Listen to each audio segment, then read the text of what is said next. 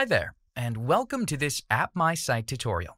In this video, we'll show you how to convert your WooCommerce website into your very own mobile app in just a few minutes. Mobile apps are extremely useful for e-commerce because they simplify the shopping experience for smartphone users. Unfortunately, hiring a developer to create one is time-consuming and expensive. That's where App My Site comes in. Our platform helps you turn any WordPress site into a mobile app via our visual app builder. Here's how it works. First, you'll need to create an App My Site account and log in. Then click on Create New App. On the next screen, include the following details to create your app. Enter your website's domain name. Select WordPress as your CMS platform from the drop-down menu. Choose one of the e-commerce options as the website type.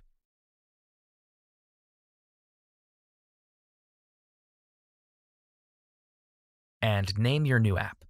This is the name that will be listed on the app stores. Then click on the Build App button.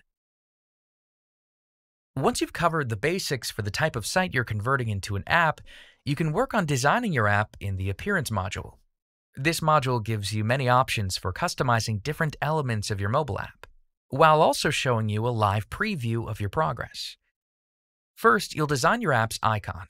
This is what users will see on their home screens and tap to find your app. You can use the color picker to choose a background color for your icon that matches your brand colors.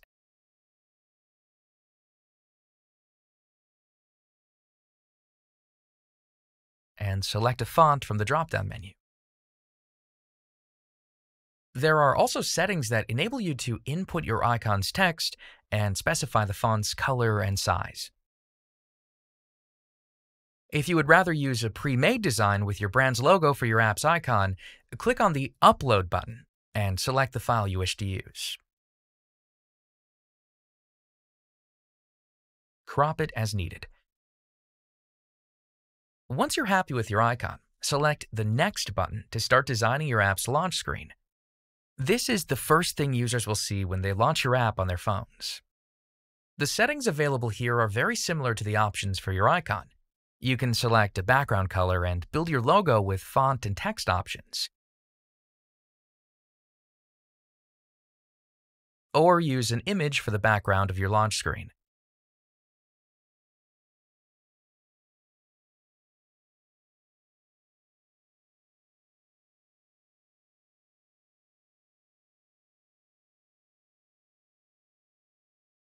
Add or remove text over the image as you like.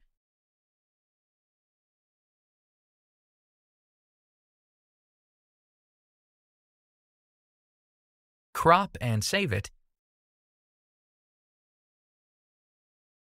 And then click on Next. Now you'll need to create your login, sign up, and forgot password screens. You'll find the same settings here as for the icon and launch screen.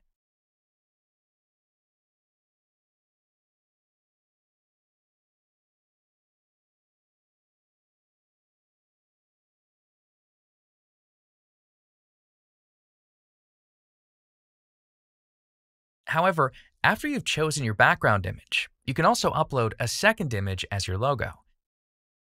It will be placed on top of the background image, so make sure it has a transparent background if necessary. You can use the options in the color theme settings to change the look of your text and buttons, and use the arrow buttons to the sides of the preview to scroll through the page and make sure everything looks nice together. Click on Next when you're satisfied to proceed to your app's color theme settings. These options affect your app's theme, so to speak. The changes you make here will impact your blog posts, product pages, and other parts of your app that aren't the specific screens you've already designed. Use the color pickers to change the colors of the header and footer bars, as well as the font color.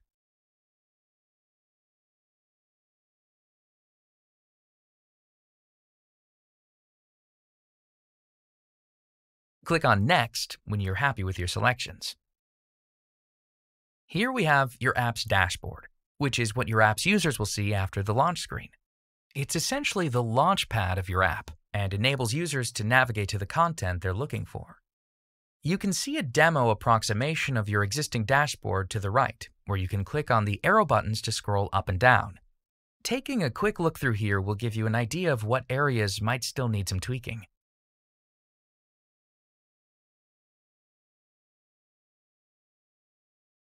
Then, using the blue toggles, you can turn the features listed here on or off to add or remove them from your dashboard. If you click on Settings next to an item's name, it will expand more options for that particular feature. If you wish, you can also rename these section headers. For instance, you can modify the top banner to match your branding by choosing its background color or uploading an image.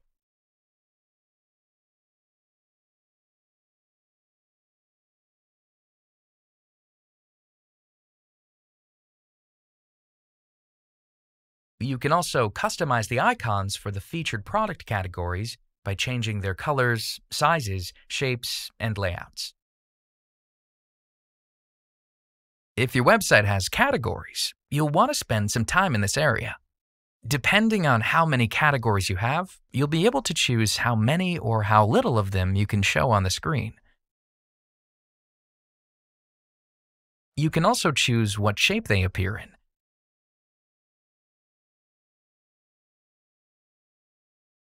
Once you've decided how the images look, you'll want to ensure you're showing your best categories ahead of the others. You can choose to show only your parent categories, show the ones that have the most of your products, or simply select the ones you want to show. Or you can also sort them as needed. As usual, click on the Next button when you're happy with your app's appearance and are ready to move to the next step. Once you're done creating your app's dashboard, you're finally ready to connect it to your WooCommerce site. First, you'll need to validate your ownership of it. Click on the Take Me There button, and you'll be directed to your WordPress dashboard. Then navigate to WooCommerce, Settings, Advanced, REST API, and click on the Add Key button.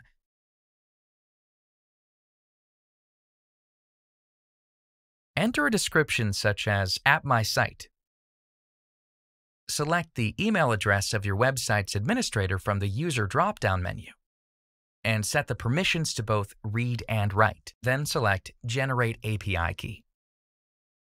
On the next screen, copy the consumer key and head back to your App My Site account. Paste this code into the WooCommerce consumer key field. Then repeat the process for the consumer secret. Once both codes are entered, click on the Submit button. Next, you'll be instructed to install the App My Site plugin on your WordPress site. This will add the necessary code to your site so that you can connect it to our platform. You can click on the Download Now button to access the zip file and upload it to your WordPress site. Or select Take Me There to install the plugin from your WordPress dashboard. Once the installation is complete, click on Activate. Once you've made sure the plugin is installed, return to your App My Site account and hit the Verify button.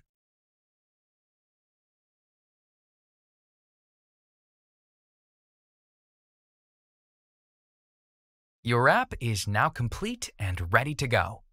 Let's take a look at a few other things you may want to check out before you make it available for users to download. First, click on Connectivity Troubleshooting in the menu to the left of the preview. On the next screen, select the Troubleshoot button to make sure everything is in working order and ready for users.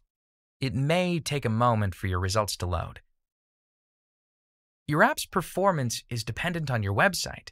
If your website is slow, you'll see a note at the top. We strongly recommend that you upgrade your web hosting to avoid issues within the app. If everything checks out, head to the App Settings General tab. Here you can make sure all the information you entered at the beginning of the process is correct. Then add a business email address, phone number, and link to your terms and conditions. This information will be made available in your app.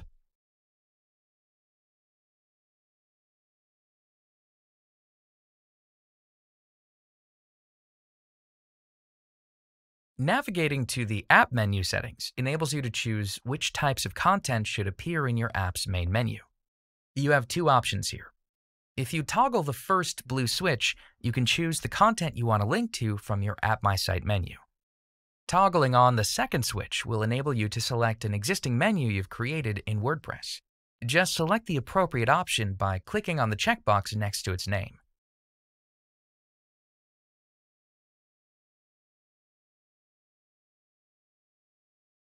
Make sure to save your changes.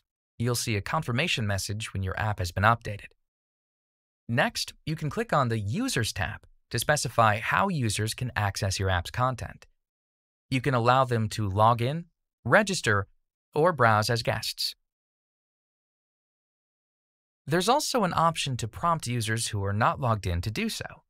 If you want to enable the social login feature, you'll find that here too. In the Products tab, there are many settings you might want to explore, such as listing specific discount percentages or a generic sale badge, including an additional information section in your product descriptions, displaying an out-of-stock watermark on relevant product images, using your WooCommerce image settings instead of the original images uploaded to your WordPress media gallery, creating a related products section enabling users to filter and sort products, and enabling product search functionality. You can turn on as many of these settings as you like. Just remember to save your changes. In the Checkout tab, there are two options for you to consider. The first will bypass your payment method screen and leave it until the last step in the checkout process. The second enables shoppers to update their billing and shipping information during checkout every time they make a purchase. Next, we have the Pages tab, where you can determine how users can interact with your web pages within your app. You have the option to enable or disable web view layouts within your app. You can also allow input so that customers can fill out forms, which is very important for making purchases or asking questions about products. Finally, you can choose to enable or disable links within the web pages on your app. In the Social tab, you can add links to your brand's profiles.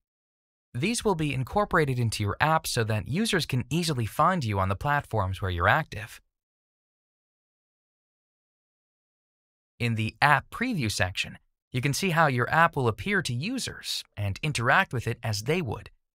It's a smart idea to come here and take a quick look through the pages to make sure you didn't miss anything during the design stage and that all the content from your WooCommerce site was imported correctly. Once the app loads, you should see the login screen you created. As we mentioned earlier, the dashboard is the central hub of your app. It likely includes various featured products and blog posts, as well as your app's navigation menu and logo. Scroll through to check it out and make sure everything looks as you expected.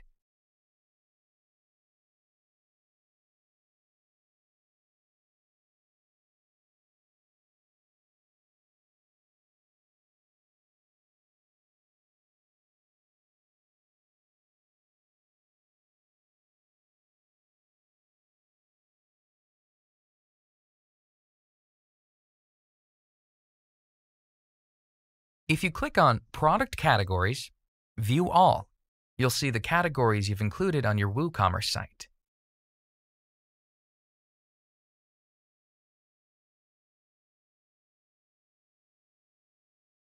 Opening a product page should show you the item's description, images, price, and any other information you've included on your WordPress website.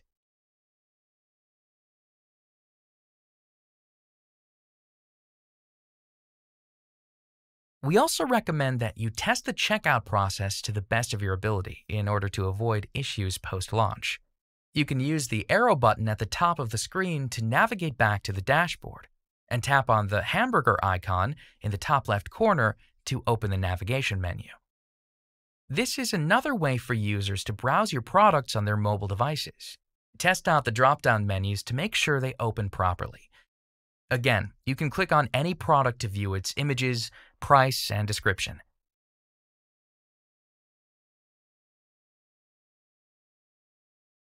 Tapping on the product image will open a quick view window where customers can get a closer look at your images.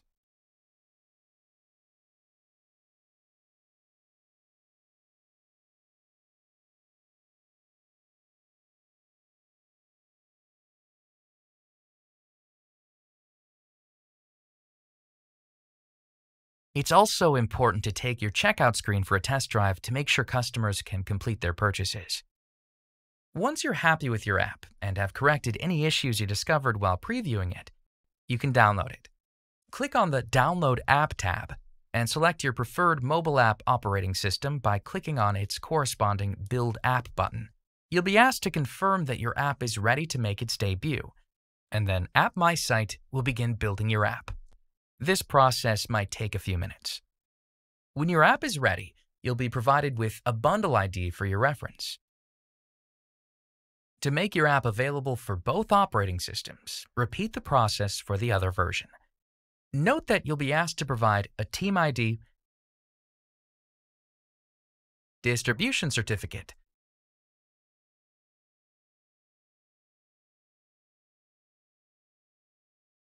and provisioning profile for iOS, which you can obtain from your Apple developer account. If you want to send users push notifications, you'll need an additional certificate for that as well.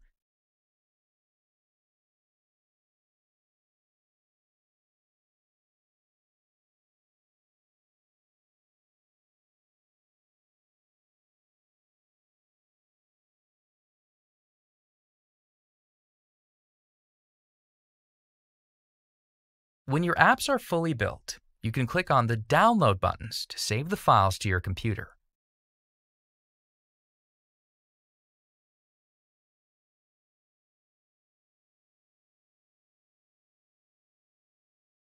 You can then submit both versions of your app to the Apple and Google Play stores, respectively. If you need assistance publishing your app, you can always refer to our Help Center. Finally, be sure to check out the App Add-ons tab where you'll find extensions that enable you to do more with your app. You can white label it, find blazing fast web hosting, have your app and app store listing professionally designed, get expert assistance with publishing your app, and much more. Thanks for joining us for this App My Site tutorial. Head over to appmysite.com to sign up and get started for free, and we'll see you in the next video.